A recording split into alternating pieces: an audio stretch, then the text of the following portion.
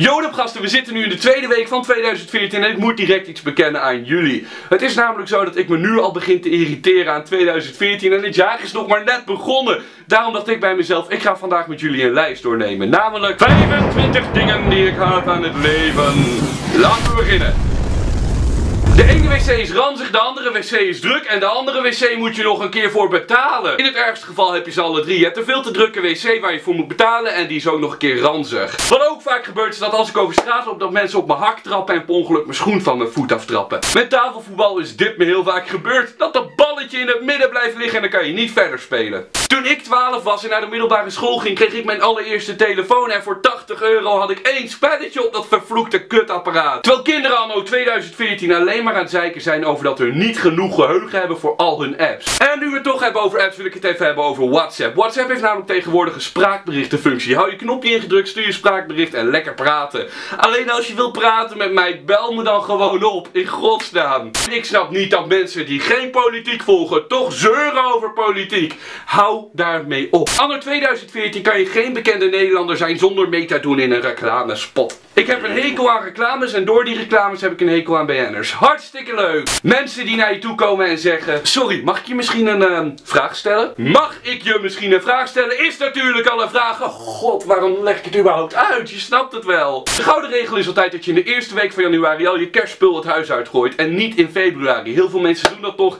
Alleen er zijn ook nog heel veel mensen die denken bij zichzelf... Fuck it, ik bewaar al mijn kerstspul het hele jaar door. En ik laat het altijd hangen. Veel plezier in de zomer. Ziet er vast geweldig uit. Leuk. Ik laat heel vaak mijn computer veel te lang aanstaan en dan start ik hem opnieuw op en dan krijg ik in één keer dit scherm. Windows wil even een paar honderd updates installeren. Hartstikke leuk, daar gaat een uur van mijn leven. Dank je Windows. Pringelbussen zoals deze heb ik ook een aan. Mijn hand is daar namelijk altijd te groot voor. Die past er niet in en dan moet ik die bus andersom en ah, het is een hel. Ik heb ook een hekel aan hipsters die hardop afkortingen zeggen als lol, roffel, LMFAO of gewoon hashtag. Dat vind ik verschrikkelijk. Ik heb ook een haat voor lichtknoppen. Ik woon nu al drie jaar in dit appartement. En in dit appartement weet ik nog altijd niet zeker welke lichtknoppen ik moet hebben waarvoor. Dus druk ik ze altijd allebei in.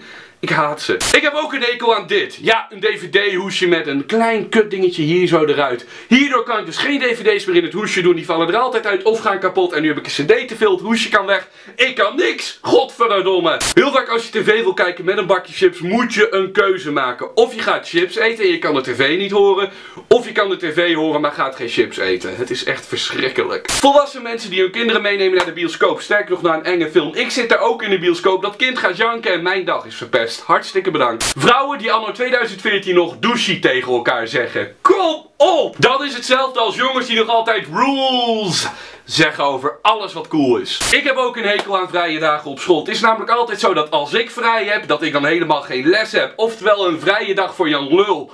Hartstikke leuk, het gebeurt altijd. Plakband is ook een van de dingen die ik haat aan het leven. Dat je niet weet waar dat vervloekte plakbandje begint en dan zit je daar te pielen. Wc-papier dat op is, is natuurlijk al heel kut. Maar ik heb er nog meer een hekel aan als dit gebeurt. Dat het ene randje van het wc-papier blijft haken en dan kan je gaan pielen. Plastic bestek zoals dit. Neem een plastic vorkje bijvoorbeeld. Stel je wil patat gaan eten en je neemt één hap ervan, dan breken alle punten af van het plastic vorkje en heb je geen vorkje meer om verder te vreten.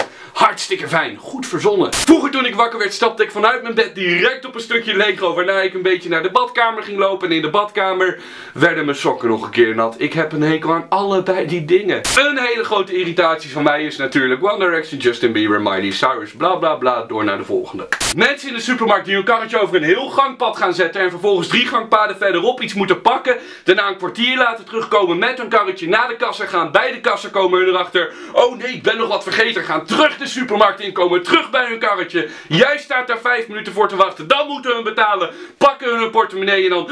Niet deze pas. Ook niet die pas. Ook niet die. Ik doe wel contant. Ik haat jullie. Waarom zijn jullie in de supermarkt te vinden? Bedankt voor het kijken van deze nieuwe Banjo Movie. Hopelijk deel je deze video op Twitter, Facebook en Google. Stuur hem door, deel hem gewoon met al je vrienden. Heel erg bedankt daarvoor. De video van vorige week heeft bijna 10.000 groene duimpjes. Daarvoor wil ik jullie even heel erg bedanken. En mocht je mij niet kennen, ik maak vaker video's op YouTube. Abonneer hier beneden op mijn. Bedankt voor het groene duimpje, delen en het abonneren hier beneden. Stuur deze video dus door en ik check jullie later.